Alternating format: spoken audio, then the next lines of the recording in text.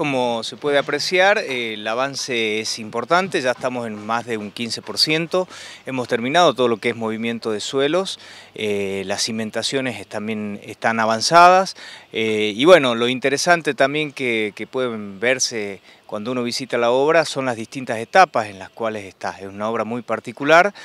compuesta por cinco volúmenes en total, incluido el puente, y eso nos permite ir avanzando en distintos frentes. Así que el cuerpo principal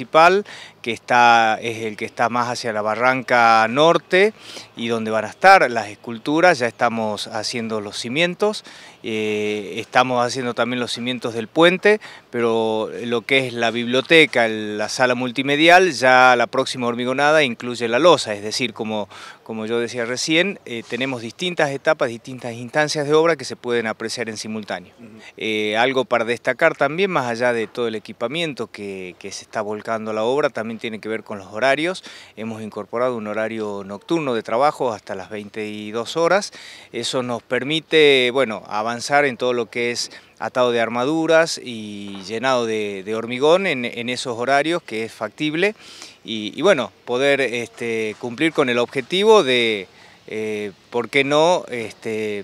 disminuir el plazo contractual que está previsto en 18 meses y el objetivo es ver si podemos concluir la obra en 14. En agosto-septiembre creemos que vamos a estar ya con la obra concluida. Hay que tener en cuenta que hay un periodo que es importante, que es, el, es durante el traslado de las esculturas, el sector, ah, va a haber un sector de la obra que va a estar prácticamente neutralizado por las tareas que implica el, traslado y la este, posición final que van a tener las esculturas. Así que bueno, una obra compleja, pero a la vez muy interesante y un gran desafío.